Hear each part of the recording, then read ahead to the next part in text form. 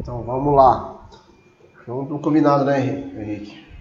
Infelizmente o Ivan, ele não pôde estar com a gente hoje por alguns outros compromissos profissionais que ele tem lá em Rio Branco, mas não vamos deixar de entregar o, o conteúdo de qualidade.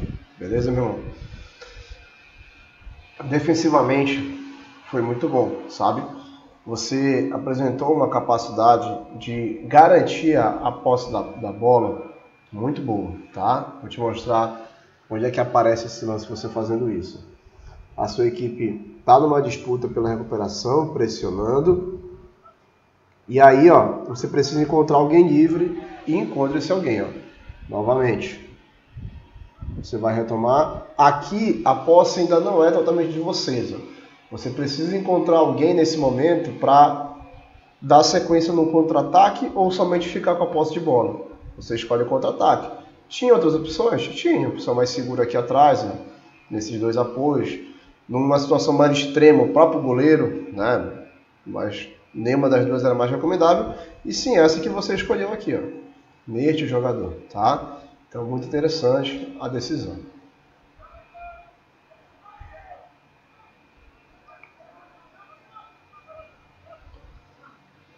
O lance também de retomada. Vamos ver aí, ó. Sua equipe tem a posse da bola, vai perder, inicia-se inicia um, um desenho de contra-ataque, você rouba e devolve para alguém livre novamente. Só que aí não é a possibilidade de contra-ataque, mas sim de manter a posse de bola. Então, bota isso na, na, na tua consciência. Não necessariamente roubar a bola vai, vai ter que ser gerado um contra-ataque nesse momento aqui, o homem mais livre, ele recebe, né? não recebe tão bem, o mais se preocupou em soltar a bola para o homem livre do que outra coisa, e tá tudo certo. Entendeu? Não deu, circula de novo, começa, trabalha, roda, tira para outro lado, decisão perfeita, tá? E uma situação de pressão, que foi legal também nesse, no, nesse jogo. A sua equipe vai perder a bola, inicia-se uma transição ofensiva do adversário e você continua correndo. Continua correndo e já gera uma possibilidade de ataque. Infelizmente seu companheiro foi lá e perdeu a bola. Tá? Mas essa atitude de não parar de correr, ela é muito interessante. Beleza? Teu companheiro podia ter soltado de novo aqui e aí você, aí sim, verticalidade, agressividade para cima da última linha no momento até mesmo de igualdade numérica que seria de, de no mínimo dois contra dois. Tá? Ofensivamente, você também foi muito bem, como nós tínhamos comentado. Não preciso nem dizer que o destaque desse, desse momento foi a, a capacidade de você colocar os seus companheiros em condições de finalizar. Olha lá. De primeira, já enxergou esse espaço aqui. Muito bom. Antevendo uma jogada. O segundo, esse mais claro ainda. Eu brinquei, mostrei para minha mulher, eu falei, já era para o nosso, nosso cliente ter uns, umas 12 assistências no ano, no mínimo, né? Sem exagero nenhum. Sozinho, só resolver o problema. Vamos ver qual foi o terceiro aqui. Essa aqui eu até fiz um, um desenho nela aqui para ver. Ataque de vocês. Você posicionado entre linhas, mapeou o espaço nas costas. Uma boa atitude ó, com os apoios em diagonal, escaneando as costas, né? Ó, pediu, passo no ponto futuro, valorizando o facão. Deixa eu mostrar de novo aqui. Olha lá, a bola vem, você solta para o lado, lado, lado contrário, descaneia as costas, pés em diagonal e se coloca numa boa condição de pifar o atacante. Então, só aqui foram três situações claras de gol para os seus companheiros, tá bom?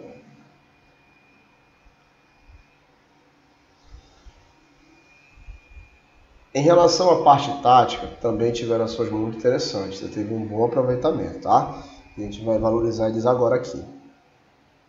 Vamos ver o primeiro. Vamos dar uma aceleradinha, né? Chegar no ponto de interesse. Opa. Desculpa.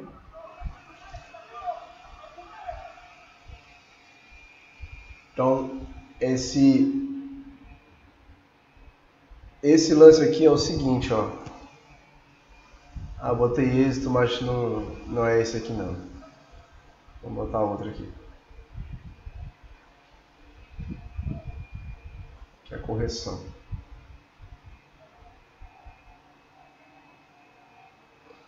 Olha lá, você de novo, você está valorizando esse espaço aqui, ó. Valorizando todo esse espaço aqui nas costas do volante, mas em diagonal e não de costa para marcação, tá? Isso facilita a tua percepção de jogo, né? A tua percepção do jogo às tuas costas até até e ao mesmo tempo que tu consegue olhar para frente, você consegue olhar para trás. Nesse caso aqui o, o adversário chegou mais junto no momento da, no momento da tua recepção para desequilibrar você. E aí a opção foi o passe no terceiro homem, que no caso era o guia aqui. Era o guia? Não sei dizer quem que era.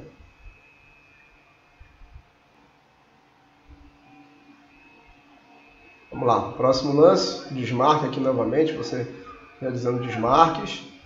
E aí você faz um bom reajuste. Por quê?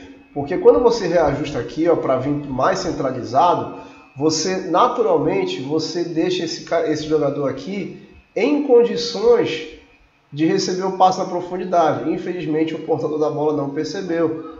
E aí você reajusta bem o corpo. E aí seria uma boa opção de passe. De novo, você pede lá, viu que não deu. Opa, vou tentar então do outro lado.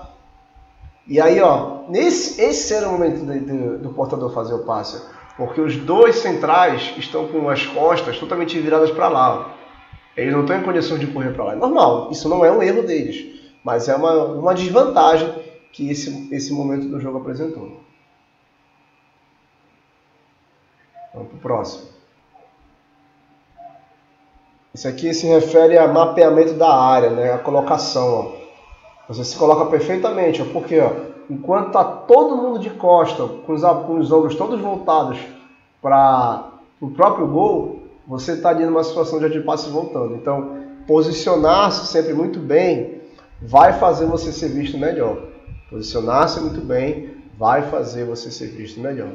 Então, uma hora, depois dos caras revendo o jogo e tudo, por o Henrique sempre está nessa posição. Isso pode ser uma grande vantagem para ti, tá?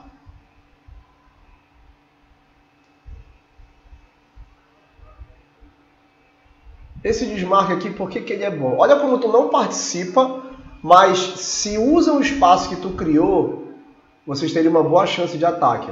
Você arrasta para o lado de lá, né? você faz aquele mesmo movimento que a gente falou agora há pouco, ó. o volante vai com você, e aí olha o espaço que é gerado aqui. Ó. infelizmente, infelizmente o, vocês não aproveitaram esse, esse espaço criado pelo teu movimento. Vamos para o próximo. Esse lance foi muito legal, Henrique.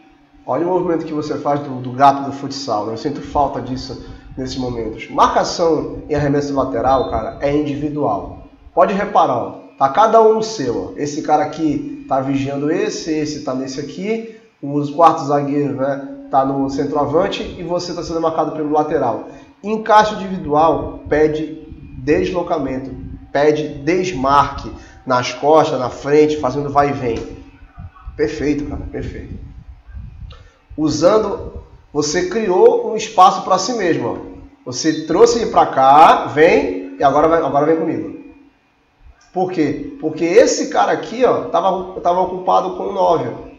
Então, naturalmente, esse espaço gigante vai ficar exposto para você usar e conseguir uma vantagem. Muito bom movimento.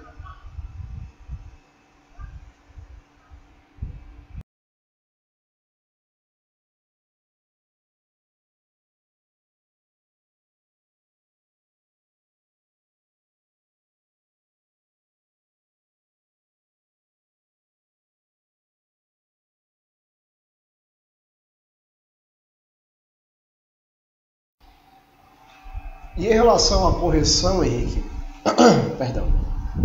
A gente quer falar de três, a gente quer falar de três lances que falam do mesmo assunto. Ataque de profundidade. Você é um cara, um jogador muito bom em fazer isso. Mas nesse jogo, tá? Nesse jogo é importante pontuar isso. Você teve três oportunidades de ser mais agressivo no ataque à profundidade e não e não o fez. Vamos perceber em que lances foram esses, tá? Vamos ver o primeiro. Acho uma sequência de escanteio, se eu não me engano aí, tá? Sua equipe recebe e aí esse momento aqui, aqui ó, tá? É um momento de atacar a profundidade. Ó. Não é mais um momento de bola no pé. Olha como é um tipo de lance que pode reparar, toda equipe faz isso. A bola dá uma sequência de escanteio, uma segunda bola, o que é que o goleiro faz? O que é que o, zagueiro, o, que é que o goleiro pede sempre, o goleiro do adversário? Sai da área, sai da área. Nesse momento que eles estão vindo, é um momento propício para você fazer o quê? Atacar a profundidade. Pedir essa bola no espaço. Tá? Então fique atento que é um tipo de momento do jogo em, em que enquanto todo mundo está vindo, está voltando, você está indo. Tá? Isso a gente chama de atacar o contramovimento. Tá bom? Contramovimento. Próximo lance, o lance número 4, tá? também se refere a ataque de profundidade. 4 que eu falo é o número do vídeo aqui. Então olha lá. Você tinha feito esse lance uma vez, né? Ok. E aí não, não, não te valorizaram mas depois você não fez. Tá? Não para de tentar, não para de tentar. A, a, lá o teu, o, teu, o teu controle de sprints tem que ter o máximo possível, irmão. Principalmente com esse tipo de movimento. Tá? Eu não sei qual é o nível de controle desse, desse dado aí que vocês estão no Vicente, mas tem fisiologistas que eles já não contam só os sprints pelo sprint, mas em que momento do jogo esses sprints foram feitos. Foi correndo para trás, foi para pressionar o cara da bola, foi em momentos como esse, sabe? Então, não desiste de tentar. Se você está jogando ali de 10, um momento como esse, você é um segundo atacante. Então você tem que estar o tempo todo ali atacando a profundidade, tá? E o vídeo número 15, mais um falando sobre ataque de profundidade. Só que numa situação um pouquinho diferente. Ó. Aqui, meu velho, você tem que mexer esse lateral. Entendeu? Faz aquele gato que você fez no, no. Mais ou menos o gato que você fez no arremesso lateral, que a gente falou agora há pouco. Vou fingir que vou atacar as costas e vou atacar a frente.